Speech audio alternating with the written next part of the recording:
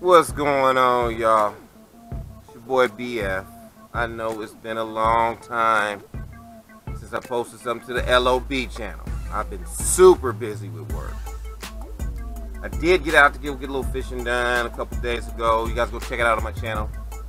But other than that, this video is about I got my tackle warehouse order in, so we're gonna do a little quick unboxing. I did have time to order some gear, which was sweet. But other than that, let's get to it. I don't remember what I ordered. Rambo style.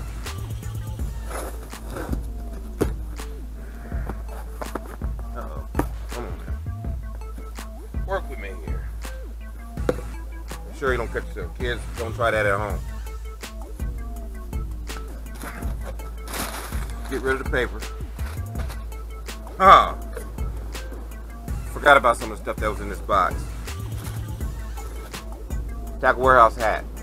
I don't really wear hats, but I just had to get one. Hey, why not? Uh, Gambler, what did I get from Gambler? Oh, yeah, I've been going through this thing. I need to catch me a bass on a big worm. So, recently I've been buying a lot of big worms and everything, so I decided to order Gambler 13 inch worm. That's my ticket. Four summers over. Big worm bass. Looking forward. That was June bug. Uh, got another pack. Gambler, 13 inch. Ribbon tail worm. Red shad green. Uh, what else good? T-shirts, of course. You guys know the deal. If you order from Tackle Warehouse, you know the deal with the t-shirts. I got one Odds promo shirt, short sleeve, and one long sleeve, just because that fall time's coming, the weather's starting to change. I can feel the chill in the air. You guys know about what I'm talking about up here in the Pacific Northwest. Uh, new reel. I needed a new jig setup.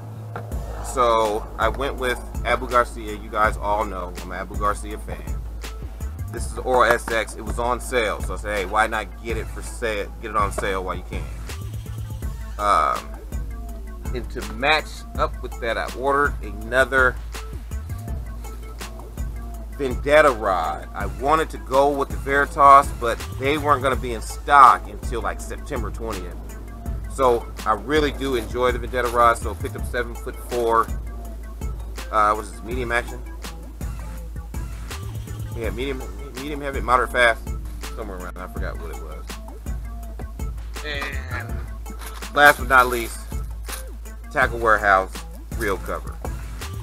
These things are the truth for the three bucks. Why not?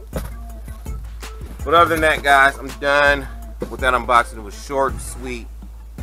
So hopefully I get out and use this gear sometime soon. But now my work schedule's slowing down, so stay tuned for me posting videos on the Legion of Bass channel and also my channel Bass Fanatic 206. So check them out. And as always, thank you guys for watching. LOB baby. Check y'all out later. Peace.